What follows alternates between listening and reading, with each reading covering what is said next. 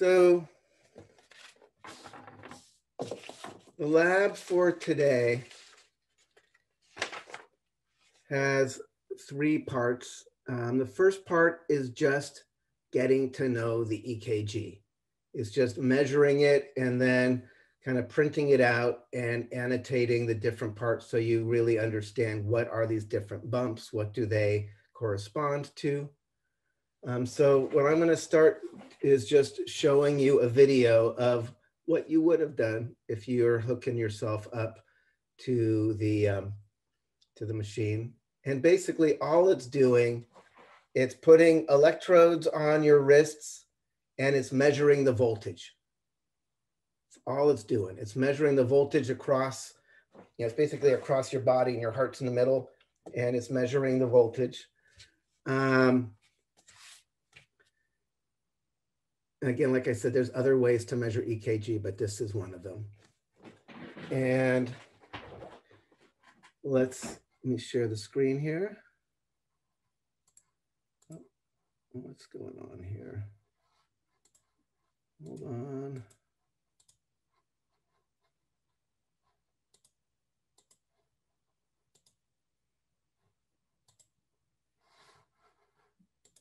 Okay. I'm sorry, my screen share it is. Share screen. Okay. We're gonna just be going down to cardiovascular EKG lab here. Um, there is a video that I put in here. It's some dude basically talking about the same stuff I've just been talking about. So you can kind of review this later. This is um, a story of a cult favorite, best-selling, weight-inducing, always pound. What is going on, guys? Don checking in. All right, and you can see QRS wave stands for eight. So Don will lead you through a lot of the stuff I've been talking about if you want to get another view of it. Um, but then he continues on and the old school, when I was teaching this lab, when I first started teaching, we actually had manual little EKG machines where there was a piece of a roll of graph paper that would just keep rolling and rolling and a little needle that would with a little ink thing on it that would go up and down that was driven by the voltages of your EKG. And so it would literally draw it out on a rolling piece of paper. They call it a strip chart recorder because there's a strip of paper that just keeps moving. Um, it moves at a particular rate. So depending, you can use the little squares to actually calculate how long it took from one beat to the next. So you can calculate, you could calculate the PR interval. You could calculate the heart rate by just looking at how many beats per minute. You know, this is old school to actually have a little piece of paper.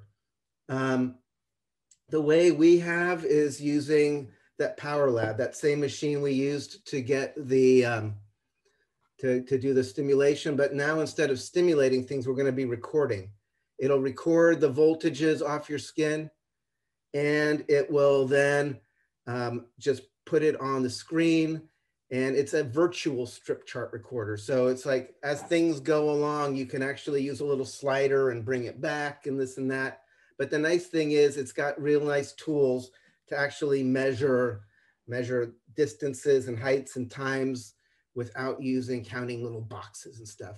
So we are gonna use this Power Lab system, which basically digitizes um, you know, the idea of digitizing is basically, maybe I should spend a few moments.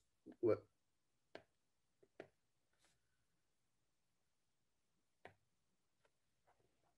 you know, the real, the real EKG is kind of going like that it's going to be like sampling it a couple of hundred times a sec. I mean, uh, yeah, a couple of hundred times a second. And so it actually becomes um, digital information, which it can you can then manipulate in the computer. Um, so as long as your sampling rate is fast enough, you you see it ends up looking almost as if it was a continuous analog thing. Um, so this is one thing we're going to be looking at with this system is the actual EKG, the voltage measured across the skin. But another thing we're going to be able to look at is pulse. Um, and we will use a pulse transducer. So like, let's say this is your thumb. You know, as the blood comes in and out, it actually swells and relaxes and swells and relaxes. So with every heartbeat, as the blood pressure goes between systolic and diastolic and systolic and diastolic, you actually are going to have the size of your thumb increase a bit and relax a bit, right? It's like a balloon where you're increasing and decreasing the pressure in the balloon. So the balloon is kind of pulsing like that, right? Your finger is like a balloon pulsing as the blood pressure goes up and down little by little with uh, in between heartbeats, between systolic and diastolic pressure. And we can put a little sensor on there that detects motion. And we're gonna, so our little pulse transducer is gonna convert movement into a voltage.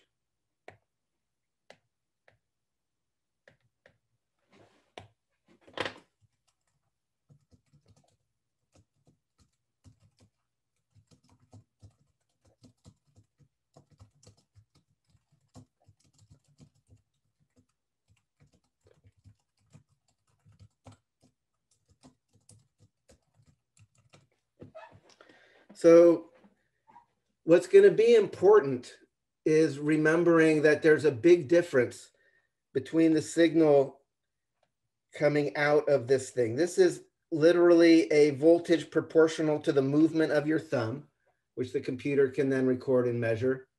The EKG is literally the voltage on your skin. So when we are looking at our screen, there's going to be you know, the pulse, the pulse is going to go up and down, right? Because your thumb is getting bigger and smaller and bigger and smaller. But this is just basically proportional to the movement.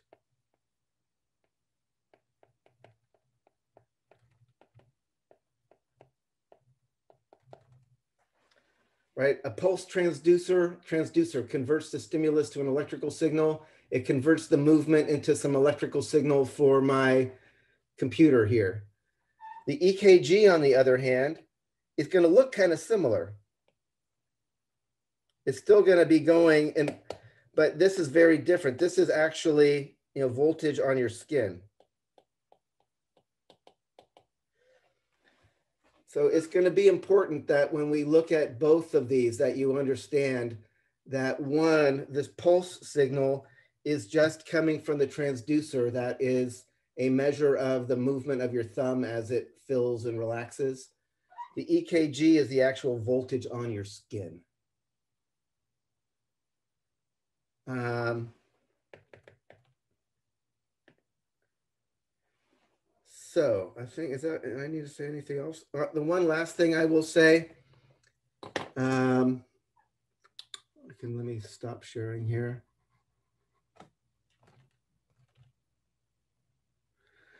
The pulse transducer that we use in this lab is different from the thing that they would usually use in a clinical setting. So if you are in a clinical setting, you usually use a pulse oximeter, which I got one right here. This is like kind of one of these, most people, most of you probably have one of these now. This is like a good way to see if you've got COVID or not.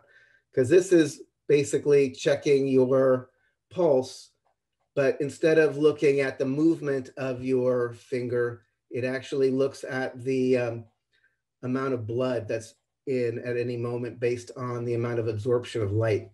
So, you know, you, you know, you can see it going here. It's basically,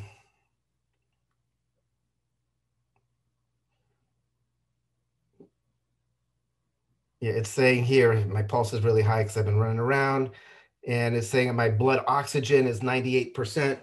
You know, that's good. People who have COVID and they're especially more advanced stages of the COVID pneumonia, you can check that out here because you can see your blood oxygenation is really low.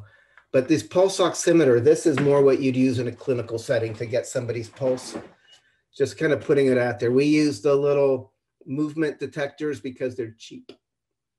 Um, cheaper than using pulse oximeters, and they do what we need for our lab. But just putting that out there in a clinical setting, you do put something on your finger to measure the pulse, but it's a little different. It's not measuring the movement or the volume of your of your thumb or your finger. It's actually measuring um, the light absorbance and able to detect the pulse from that, as well as your blood oxygen levels from that. So, all right, back, back to our lab. All right, so again, you can go and watch that if you want. Um, then do in the lab. So I'm just going to play this for you. This is basically showing what it looks like when you hook somebody up and measure the EKG. And then it is also going to show, like in the lab, it talks about move your hands around and see what happens to the EKG. You know, that is something you need to describe in your write-up. And that's something you're gonna have to see um, on the lab here um, as our subject does it. So some of this is showing you what to do, but some of this is actually data that you're gonna have to do or record. Like when it asks for your observations, you're gonna have to get your observations from this video as well. So let's go here. And this is also, this is when I had a little more time over and I made fancy titles. So it's cool looking here. Thank you, thank you. All right, here we go.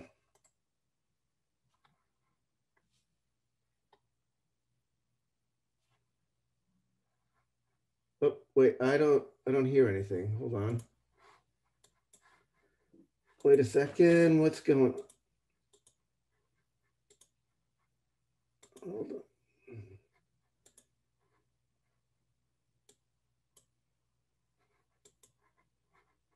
Wait a second. Something, hold on. Something's going on. It's going to take me a few more moments to figure out why my system is being weird.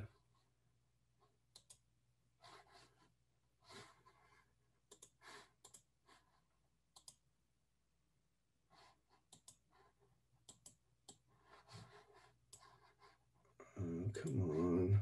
Oh,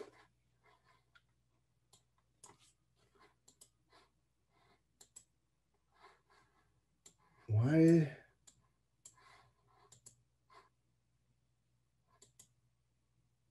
Is this, can you hear anything or is it also silent for you? Silent. All right, let me, let me figure out what's going. Oh, I know, I got it. Okay, let us do this again. Um, here we go. Welcome to doing the EKG lab, part one. Uh, All right, so you're gonna, we're gonna start connecting things. All right, so Can I, maybe the screen. yeah,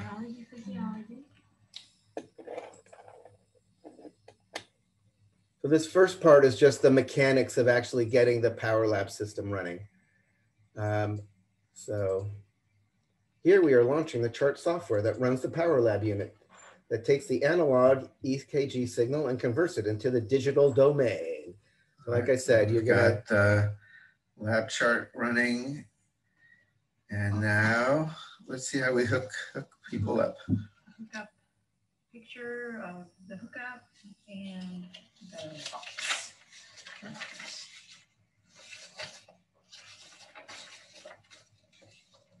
All right, removing jewelry, watch, plug in the bio amp cable into the bio amp socket, I'm gonna show how that actually connects goes. the three leads to earth, ground, and so maybe if you want to Uh, And the pulse, pulse transducer, she can pick that up.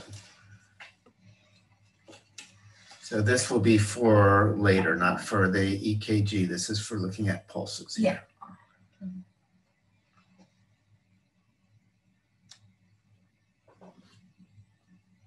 All right, let's, so let's wire up our subject. attaching. Um, yeah, so, so then, yeah. So braid.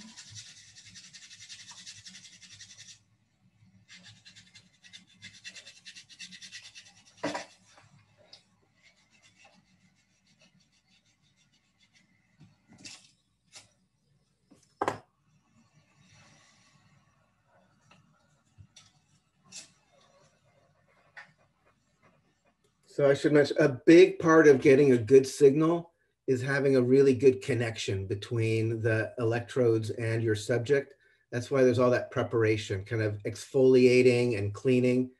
Um, if you don't do that, you usually get a really messy signal. Um, so it is, it's important to do good prep to get a nice connection between the electrode and the body.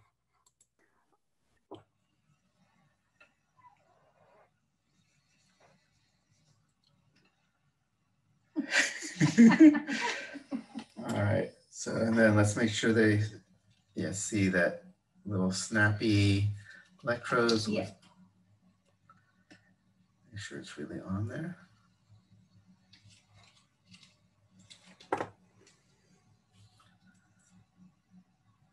There should be an extra in the matrix here.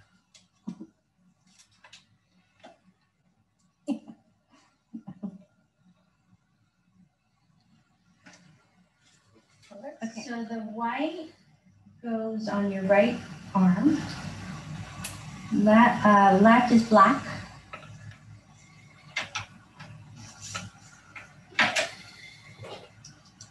Green on your right.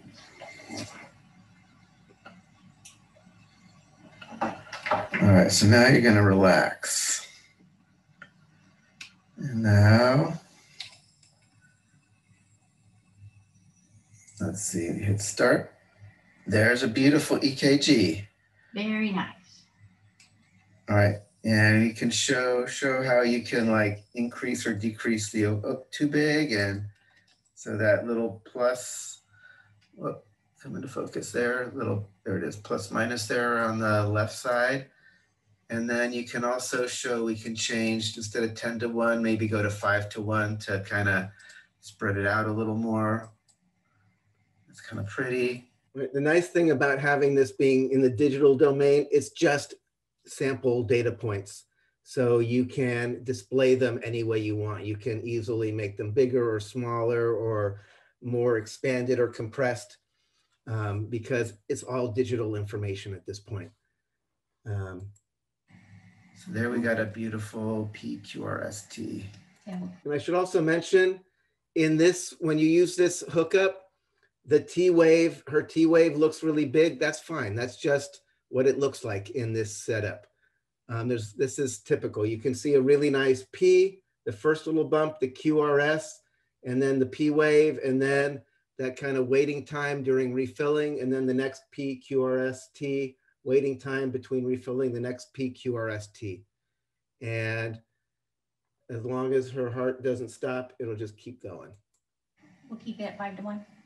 Yeah, I think five to one is good. Yeah. All right, so it looks like our subject is healthy. So this part, you need to watch what happens here. This again, this is going to be something you record in your lab book, and you can watch it later after after I'm done talking here.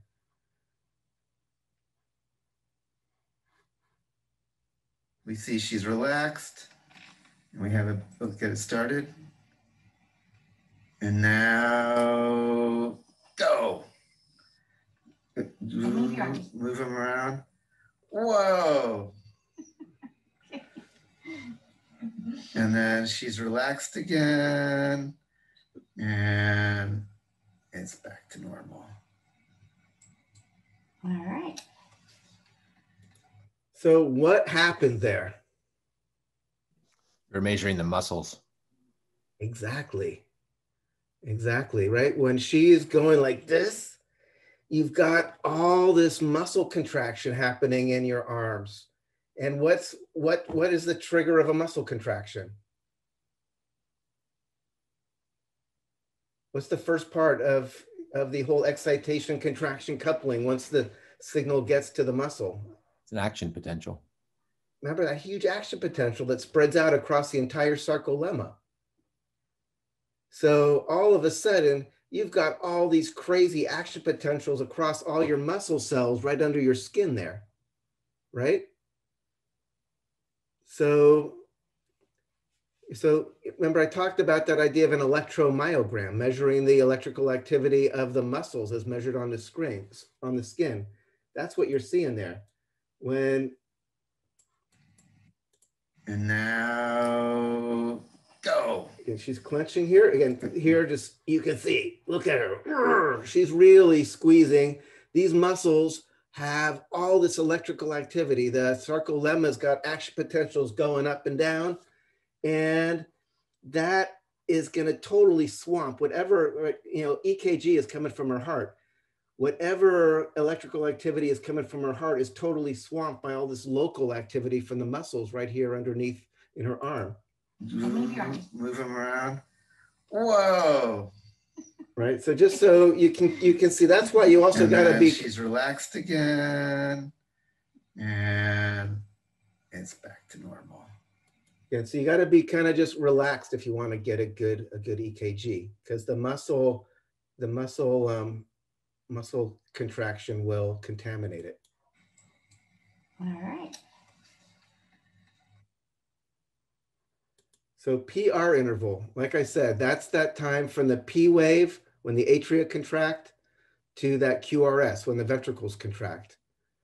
Um, again, about how long should it be between the P wave and the R wave? 0.1 to 0.2 seconds. 0.1 to 0.2 seconds. Um, with this Power Lab system, it's really easy to actually just measure it. You set a little marker and use the cursor. So the data that you're going to need for the lab is going to come from this part of the video right here. So here we're going to measure Becky's PR interval.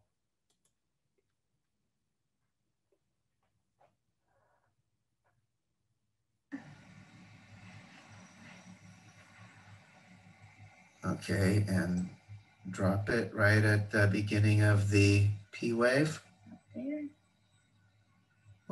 No, you can just like, like right there. You can just put it there. Three. Yeah. Okay. Let go. Okay, so there it is. The marker is sitting right at the beginning of the P wave. So the P wave's going up and then you can move the cursor around and it'll tell you the time between wherever you put the cursor and where the marker is. So this will let us easily measure the time from the marker and we're just going to put the cursor on the R and we can just read off the screen. We'll see what the time difference is. And now put the cursor there. You almost you had it at the beginning, just at the rising of the QRS there. And now we can take a look up here. And we see the delta time is 0.12 seconds, which is total.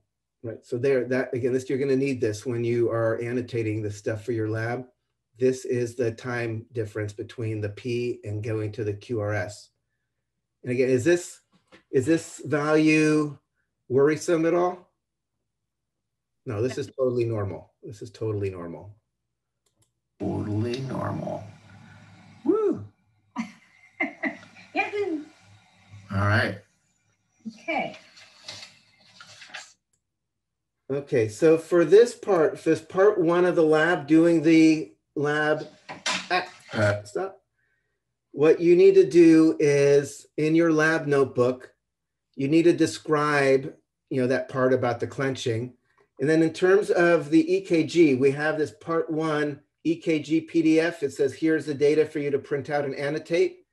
You're basically gonna click on that. Where is it? There it is. It's open it's basically an EKG printout from Becky, what we just did. And all I want you to do on this is to annotate. Annotate meaning kind of add your own writing onto it. And the idea is going to be mark where is a P wave and tell me what it stands for, what's happening there. Mark the QRS complex, let me know what that stands for, what's happening there. Mark the T wave, and tell me what that is um, corresponding to. And then also show the PR interval on here. Again, you can just draw a little line like from the P to the QRS and then say, oh, that time difference there is what we just saw, 0.12 seconds. So this should be in your lab notebook, a printout of Becky's EKG, and it should be annotated. You should be drawing on it and labeling the main stuff. And I, again, I mentioned in the in the lab manual what you have to annotate. Again, the idea here is just to get hands-on experience, making sure you know which bump is which and what does each bump correspond to in terms of the cardiac cycle. I have so, a question regarding where you measured the R. You measured it like right at the beginning of it, not the top. Yeah, um, you know, if you go in your lab in your lab manual, there's a little thing showing the PR interval. It's kind of like the beginning of the P to the beginning of the QRS. You know, so it's just trying to be consistent there. Okay. Yeah. Um, so any questions about this part? Okay. Could you show how to how to do the interval again for the uh, PR interval? Like, do you do you draw the line going to the peak of the uh, Q or? or R, I mean? It's here, I'll show you. It's basically, it's basically like from here, when the R, oh, to here, where the QRS starts, and it's just this distance right here, or this time right here. Okay, so just draw those lines then. Okay, thank you. Yeah, so and so what you should be making sure you draw. This is a P, and P is, you know, what does P correspond to? atrial depolarization. Yes, on this page, make sure you mark that this is the P and that this is atrial depolarization. This is the QRS, the ventricular depolarization, the T wave. So mark what they are and what they stand for, and also make sure you illustrate the PR interval and give it a value as well. So again, this is mainly just so you have kind of this hands-on experience, making sure you really feel you know what these different parts are and what they correspond to. Um, so this is part one. Part two is going to be looking at the velocity of the pulse wave. Whoop. Oh my God, my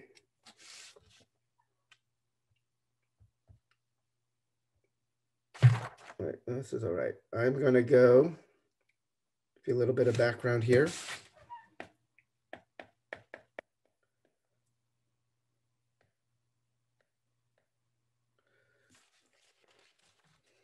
Estimating speed of pulse wave.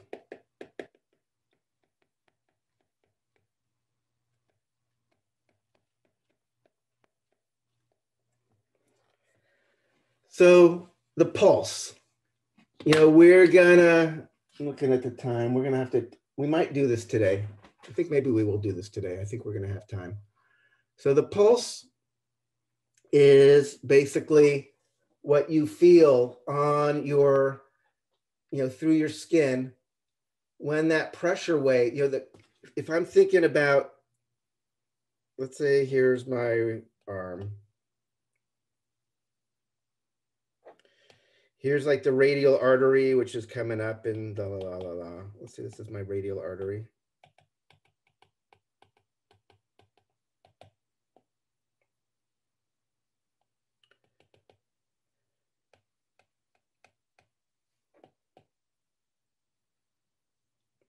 You know, the pressure in there is going to be going up or down with each heartbeat. Remember I talked about the blood pressure. There's systolic, diastolic, systolic, diastolic. It keeps going, and this is somewhere around 120 millimeters of mercury, 80 millimeters of mercury. We're going to look at this in much more detail next class. But basically, in pressure, pressure is just force per unit area. So that means the blood is pushing harder. It's pushing a little less hard. It's pushing harder it's pushing a little less hard. It's pushing harder. It's pushing a little less hard. So you put your your push on it, you can feel it. It's pushing, it's backing off. It's pushing, it's backing off. It's pushing, it's backing off. So that's what you're feeling with the pulse. You're feeling the force, and the force is actually expanding the diameter of this thing so you can actually feel it move and kind of expand under your fingers. So that is the pulse. This the pressure inside the little artery that is causing that force and causing those volume changes that you feel. You know, where is the force coming from that is actually generating this, this push that you feel? It's the heart. It's the heart. The ventricles are squeezing. That's generating that initial, that's initiating the pulse wave. So here's your heart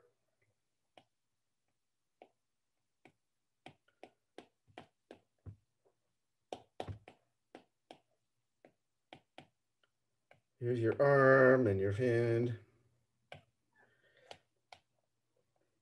You know, the aorta comes out, goes all the way down.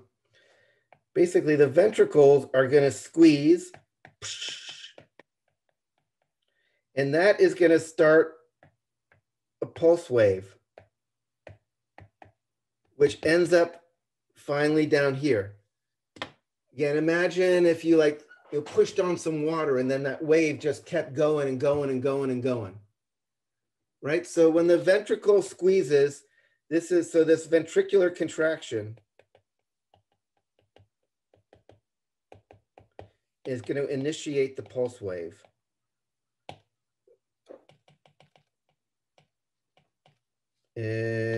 Initiates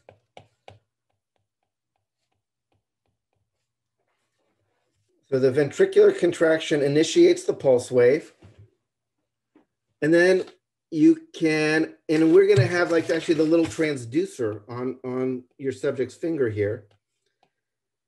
So you'll see the pulse. How can we know when the ventricles are contracting? Do we have any way to know when our subject's ventricles are contracting? Any way at all? Hearing? QRS. QRS, right? QRS is ventricular contraction. So when we see the QRS complex, we have a pretty good sense this is when the pulse wave starts. This is when the ventricles squeeze and start the pulse wave.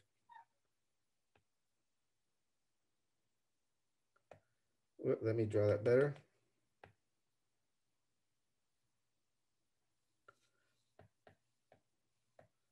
So when this is happening here, we're like, huh, that's probably where it started. You know, meanwhile, we are measuring what's going on here at the thumb with our little pressure, our little transducer that detects the movement, like when the actual pulse arrives at the finger. And you're gonna see it, it's gonna go up. But it's not gonna, you know, it's there's going to be a little bit of a delay, right? This contracts, starts a pulse wave, and then we see the pulse actually arrive here at the finger. But it, it takes a little while because a pulse wave has to propagate down the arteries. Um, the speed that this pulse wave goes has to do with a variety of factors, but including kind of the stiffness of the, of the arteries. Um, think about like with strings, if you have a tighter string, it vibrates at a higher frequency. Um, it's kind of like we were talking about when I was talking about just, you know, natural, the resonant frequencies of things. Um, so people have looked at pulse wave velocity as one possible way to look even at cardiovascular health. You know, the more elastic um, things are, actually the slower things go, the more kind of stiff things are, the faster the wave propagates. So we can actually measure the speed of this pulse wave in our subject. If I want to know the speed of the pulse wave,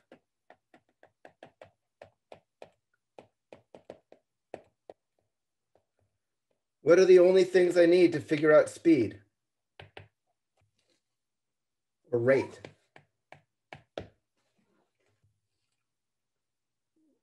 This is an ongoing theme in this class. Distance, Distance. and time. And time. Distance over time.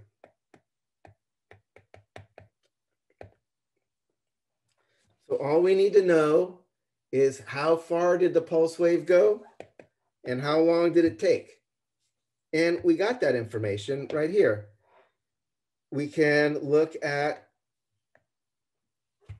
when did the QRS happen? When did the pulse wave happen? And just measure that time. And the system is good at that. We'll see in just a few moments. Again, because we're gonna have the pulse transducer running, we'll have the EKG hooked up, so we can just look at what's the difference from when the heart squeezed to when the pulse wave showed up at her finger. For the distance, how are we gonna measure the distance? You just use a ruler or a tape measure. We'll use a tape measure and just physically, and it's going to be a bit of an approximation because we're not going to cut her open and measure along the arteries, but we're just going to use a measure, a, a tape measure and look at this. So this is the whole idea of this part two. We're going to measure the speed of the pulse wave and we need the time and the distance. And let's see how this looks. I'm going to share my screen again.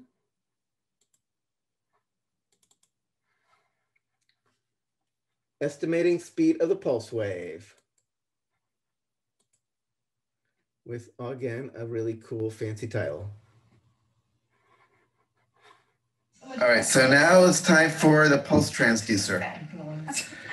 so pulse transducer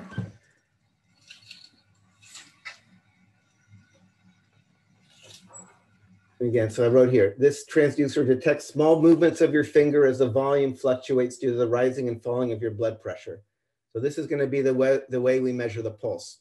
The, the, the finger is moving slightly, growing and shrinking in, in response to the rise and fall of the blood pressure um, in your thumb. Wait till all this goes away.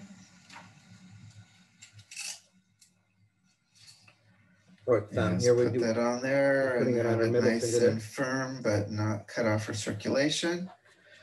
I'm And gonna show, And again, also, again, this is different from the pulse oximeter.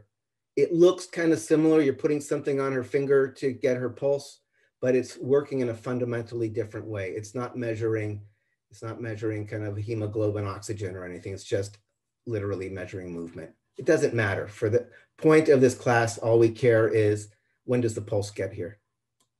uh, sample. yeah, so now start it up again. And there, I'm gonna zoom in on the, You want that any bigger? so just pulse, there, pulse transducer on the top. EKG on the bottom. Even though they look kind of similar, they're actually very different things. Uh-huh.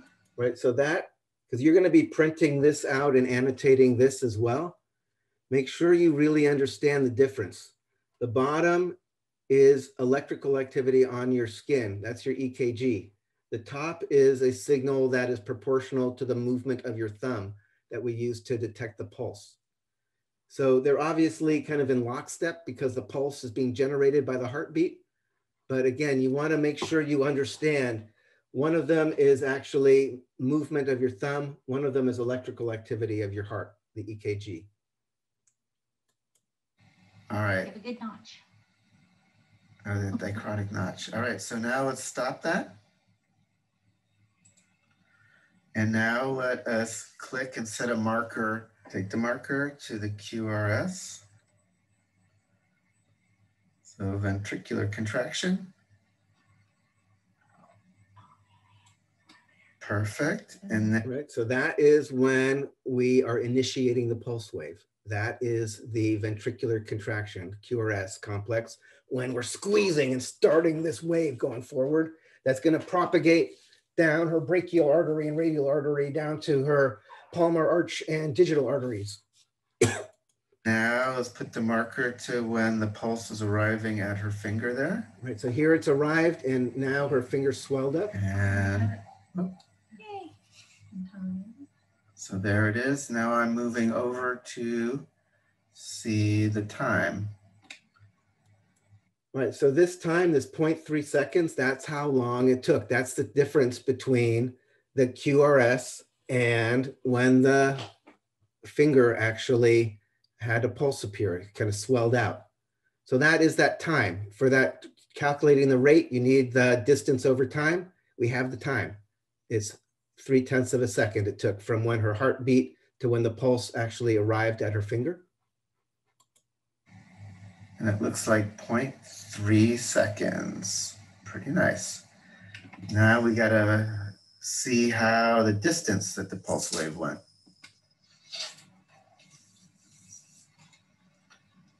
So 10 centimeters below her jugular notch is where her aorta leaves the heart.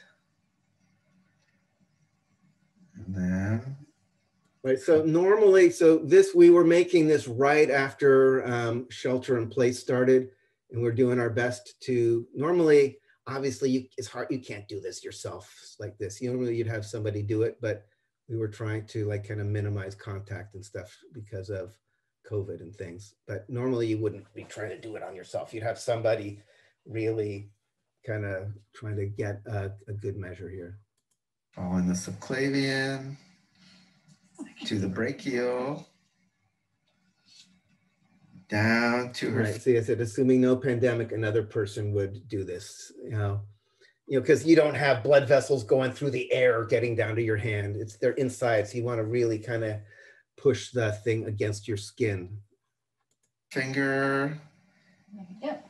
And. Maybe five.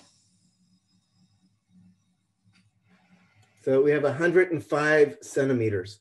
You know, so in your lab book, you know, for this subject, you should put in the data you have for her pulse, the rate, the speed of her pulse wave, because you have the distance, you have the time, so you can calculate the rate. Cool. All right. So you should use that data. Um, again, do I have? I don't. All right, so now what, it's time stuff? for the EKG pulse. So here, let's open. You know, in your lab notebook, you should also print out this piece, which we have here for part two, which is basically showing the QRS and the pulse at the same time. So annotate this, make sure in your description, in your lab notebook, you talk about how you actually figured out the time and use this picture here, use this graph, this printout, so you can clearly dis, you know, discuss in your lab write-up how you actually figured out the time it took for the pulse wave. So in your discussion, you explain how you calculated that rate. You know, and it's, obviously it's gonna make sure you describe and annotate the idea of when the pulse wave initiated at the QRS and when it arrived at her finger with the pulse transducer. So in your lab write-up, print this one out as well and use this as part of your discussion of part two. Uh, do we actually need to use the grids on this to find it or do we just use the information that was given in the video? Use the information in the video. This is the this is the printout from Becky. Same, same thing. Okay. The same thing.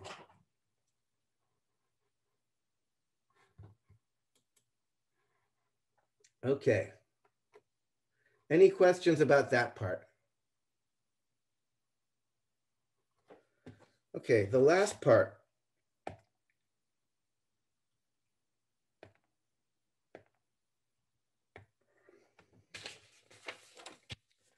Part three is arterial anastomoses.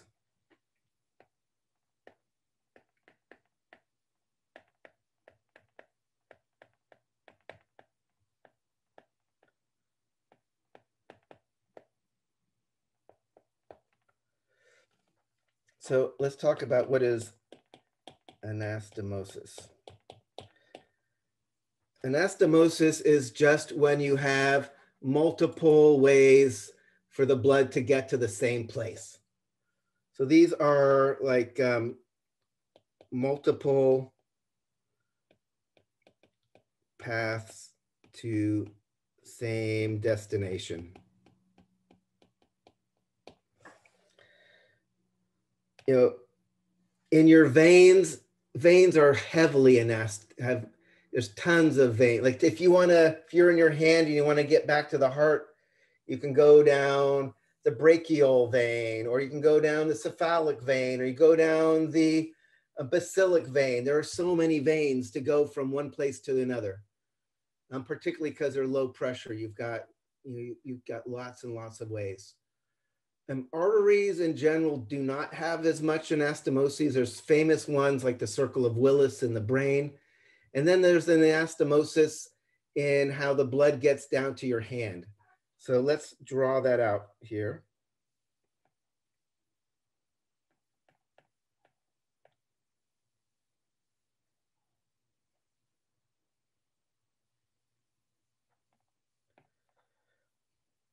Here's your heart. You've got your subclavian. You've got the brachial artery, which you are all going to get to know much better next class.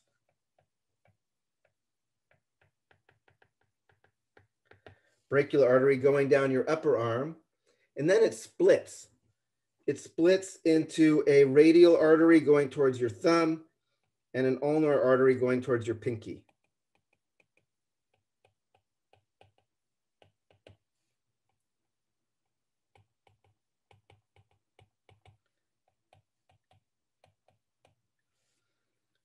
The radial artery is one that you often feel. It's, it's big and beefy and right near the skin. So you can actually really feel it well. When people take your pulse on your wrist, you're pushing right near, you know, on the wrist near the thumb, that's the radial artery you're feeling. Um, and then when they get into the hand, they make a loop. It's called the palmar arch. And then the digital arteries that go into your fingers come off of that.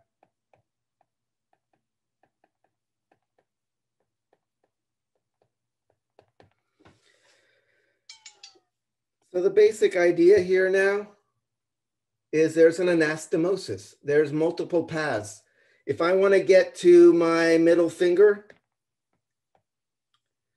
I could go down the radial artery and come there but I could just as well go down the ulnar artery and get there as well.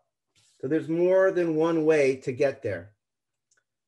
So what would you expect if I if I blocked, if I pushed hard on the radial artery, what would happen to the pulse at my finger? Would the pulse go away? If I if I blocked here?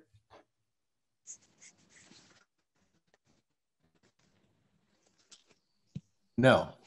No, because the blood can keep coming down the ulnar artery. Right? If I block the ulnar artery, would the pulse disappear on my finger?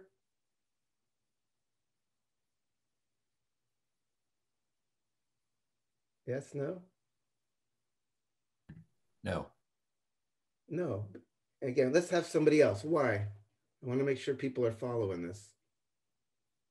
Because blood's coming from the other artery and uh, feeding this palmar arch. So what if I block the rate, the brachial artery here? And you won't feel a pulse. Right, then you're basically cutting off most of the blood flow down to the lower arm. You know, these actually, these pressure points like that, it's important. Like, you know, if somebody has some horrible bandsaw accident and they just cut off all their fingers and you just got all this blood spurting out of their hand, and you want to like stop them from bleeding to death right now, you know, if you just use your, you know, thumb and push on the brachial artery, you can stop most of the blood flow going down to the hand there. Whereas if you just pushed on the radial artery or the ulnar artery, it's not necessarily going to accomplish what you're looking for. Um, so this last part is going to be exactly what we're talking about. We're going to be looking at the pulse at the finger and then we're gonna be pushing. Let's block the radial artery and see what happens to the pulse. Let's block the ulnar artery and see what happens to the pulse. Let's block the brachial artery and see what happens to the pulse. So this is, again, using this machine because it gives us a nice readout of the pulse. And we can see how the pulse is affected by occluding, by blocking these different major arteries that are serving the arm here. So I'm going to share part three here, arterial anastomoses in the hand. Again, with an awesome little title screen. All right, so now she's taken off.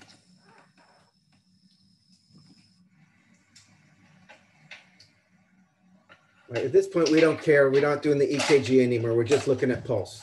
It just has the pulse transducer. Okay, so then I'm gonna start this. Start this. I'm gonna pull this down, make it a little bit bigger. Okay. Start.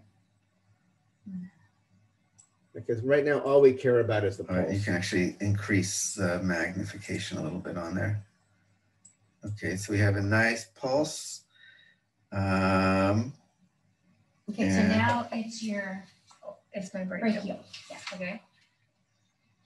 So she's pushing on her brachial artery, and look So- what happens. There you go. Nice. You can see the Arm pulse. pressure.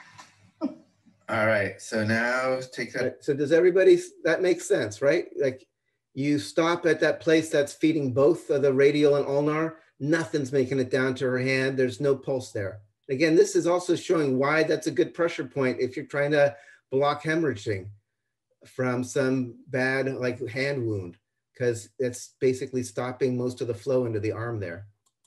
Get off. Okay. Here we go. All right, So she lets go. it's and- coming back. And then show her without it, her hand there anymore. Okay. Right, So see All right, now now go on to your radial.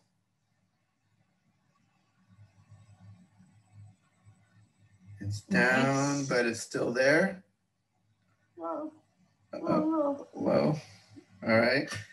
Go on to your, your ulnar. Again, it's lower. So you have the majority that come through your radial. Interesting. Yeah, that was interesting. Hmm. All right. so now you're gonna put it on both. Whoop. Ready? So what are you going to expect if she compresses both the ulnar and the radial at the same time? No pulse. Exactly. There we go. Nice. Nice. All right, and then Beautiful.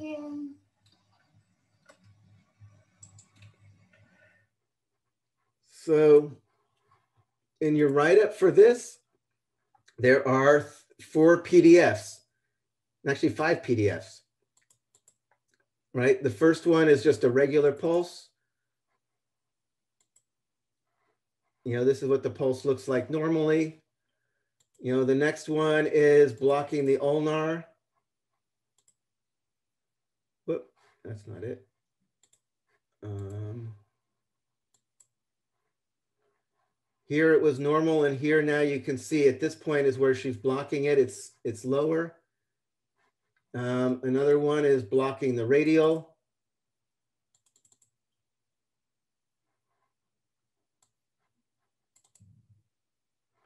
Again, you can see the normal and then you can see it go down here. Again, not disappear, but definitely less. Um, Serena? Oh, I thought you waved your, you raised your hand. No, just moving about.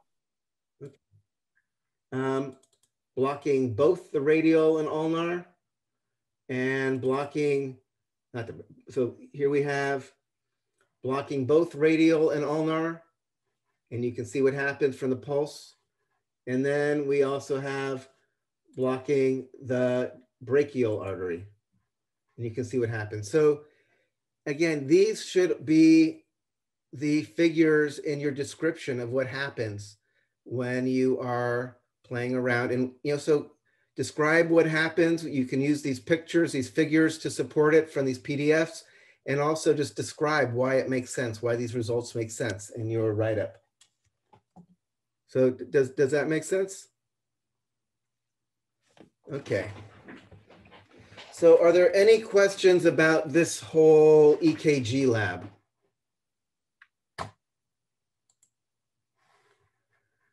Um, so we have a little bit of time. So what I want to do now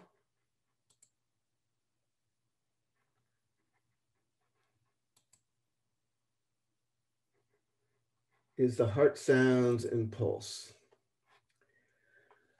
Okay, so the next part of the lab is where we, it's also, we can't do because it's, we don't, we're not in person. It's the fun stuff of using a stethoscope. Um, when you have a stethoscope, in fact, let me just, I can just, it's easier if I just show this.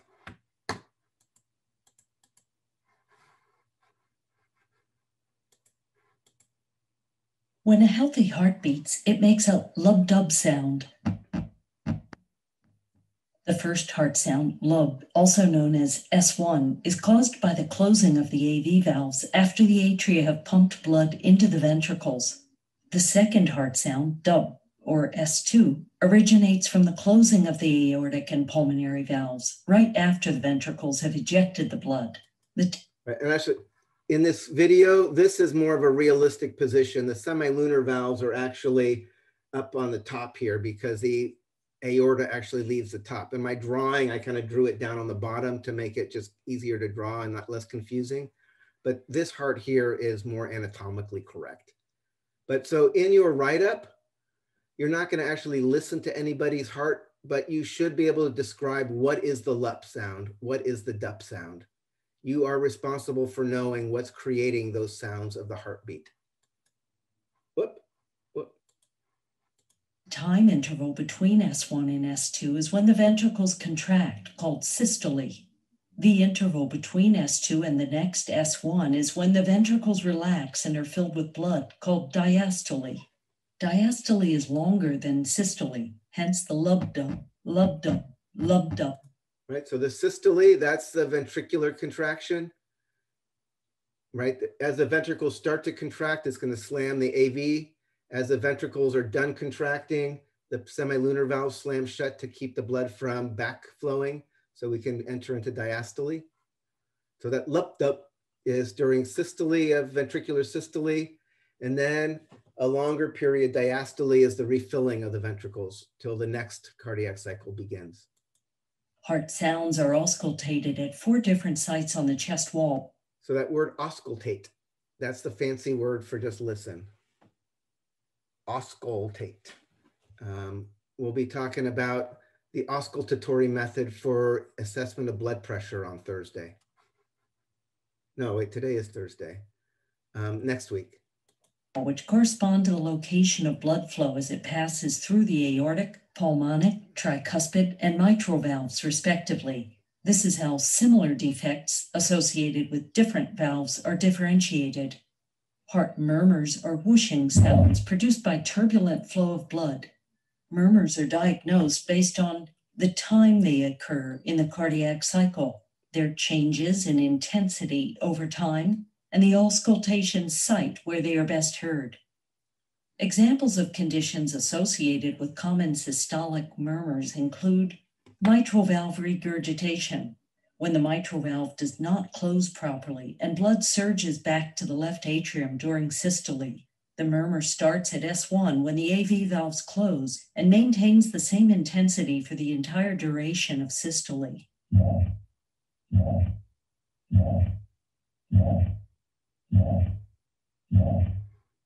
This holosystolic murmur is best heard at the mitral region, the apex, with radiation to the left axilla. On the other side of the heart, a tricuspid valve regurgitation has similar timing and shape, but is loudest in the tricuspid area, and the sound radiates up along the left sternal border.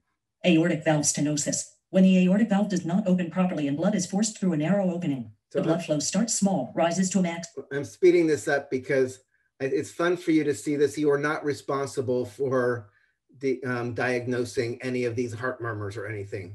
I'm just kind of giving, I'm putting this out here so you get a sense that in addition to hearing the heartbeat, you can hear lots of other stuff and it's very useful diagnostically. So I'm gonna play this at speed and a half so you see it, but don't stress. Again, you should know what the LUP and the DUP sounds are. You do not need to know um, how to diagnose a murmur. maximum in mid-systole at the peak of ventricular contraction, then attenuates toward the end of systole. This results in a crescendo decrescendo, or a diamond-shaped murmur, which starts a short moment after S1. It is often preceded by an ejection click caused by the opening of the stenotic valve. Aortic stenosis murmur is loudest in the aortic area, and the sound radiates to the carotid arteries in the neck following the direction of blood flow. Again, on the other side of the heart, a pulmonic stenosis has the same characteristics, but is best heard in the pulmonic area and does not radiate to the neck. Other conditions that cause audible systolic murmurs include ventricular septal defect and mitral valve prolapse. An example of diastolic murmurs is aortic valve regurgitation. This is when the aortic valve does not close properly, resulting in blood flowing back to the left ventricle during diastole, the filling phase. As the blood flows in the reverse direction, the murmur is best heard not in the aortic area, but rather along the left sternal border. It peaks at the beginning of diastole when the pressure difference is highest, then rapidly decreases as the equilibrium is reached. Other common diastolic murmurs are associated with pulmonic regurgitation, mitral stenosis, and tricuspid stenosis. Thank you for watching. Please feel free to suggest a topic you want us to cover by leaving a comment below. All right. So that gives you a sense of, and again, for your lab write up, there's not much for you to do for this part one or for, um, the, oh,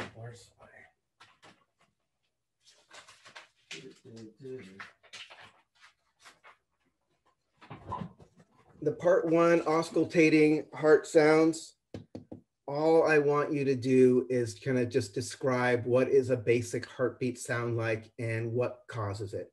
That's all I want you to do for part one.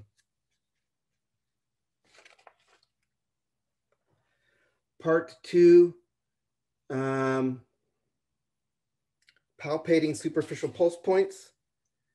That is something I actually do want you to do. Um, this is feeling the pulse on these different arteries around your body. Um, we talked about the radial pulse on the radial artery, you know, right on your wrist near your thumb.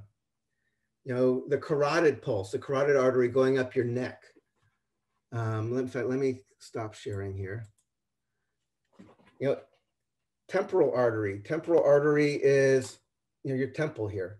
There's an, an artery there that you can feel pulsing. In fact, I feel mine right now. Um, facial artery is much more delicate. It's kind of right under your jawline here, and you can feel a little pulse in there. Radial artery is easy. Radial artery is that one right on your wrist here. Um, femoral artery is going down in your groin area. It's kind of right, right near the fold, kind of right inside here. You can feel that one um, popliteal artery behind your knee. That one can be trickier to feel. Um, posterior tibial is near your inside ankle. Um, dorsal pedis is on top of your foot. Um, so your lab manual has a picture as well as a very brief description of where these are. Um, what I am going to do right now to end this for the next 10 minutes I'm going to put you or whoever's left here into breakout rooms. And I want you to discuss amongst yourself. You can, again, you have this just, you have to feel it on yourself and describe what the, what the um, pulse is like. Is it strong? Is it weak? Can you find it at all? Um, what kind of things are going to affect the strength of a pulse?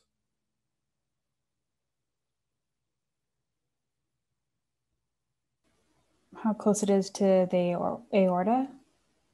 So that won't actually make a difference really. Um, given that these major arteries have, they're kind of wide and there's very little resistance, um, basically the, the pressure um, coming out of the aorta is gonna be very similar to the pressure at all of these major um, arteries that you're actually pushing on. So the distance from the heart is not going to be such a, a problem. Uh, not the distance from the heart, but from the aorta. So like the femoral artery seems like it would be stronger because it's like bigger and close to like where it might like bifurcate from the abdominal aorta. But so there it's more because it's a large diameter still. Yeah. So yeah, more about the diameter size, not yeah, the so, distance. Okay. Yeah, I'd say not the distance, but the diameter. A larger, a larger one has a potential of being stronger. Um, although the aorta is like the largest of all and you can't palpate your aorta. So what else is really important? Distance from the surface of. Yeah, I mean, how deep it is, if it's near the skin or not. And not only that, what's underneath it? Is there something that you can compress it against? Right? If you have, you could have a big thing pulsing and you push on it, it just is running away from you. So, but if you can clip it between your skin and some underlying bone, and then it's going, then you can really feel it. Right. So there's a variety of things that are going to affect the strength. There's the obviously the size of the artery, but that's going to be um, just a little one part of it. It can be really big and you can't feel it if it's too deep or there's nothing kind of compressing or blocking from behind to, you know, that give you something to push against. Um, checking pulses is a really big diagnostic tool for checking if there's adequate blood flow to different parts of your body. Um, and also I should say blood, the pulse has a lot more going on than just the pulse rate and the strength. Like those are two things that you can think about that are very obvious. You know, you can count how many beats per second. You can say, oh, it's strong or it's weak. What other things can we determine about feeling the pulse?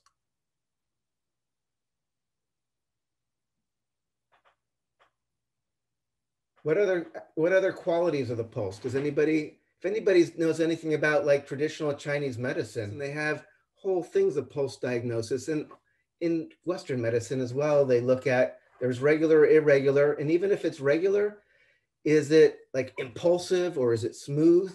Like, does the pulse feel like, uh, uh, uh, or is it like like wah wah wah? Um, so they talk, and like people talk about the pulse feels thready or the this and that. There's lots of different things beyond just the strength and the speed that actually give you information.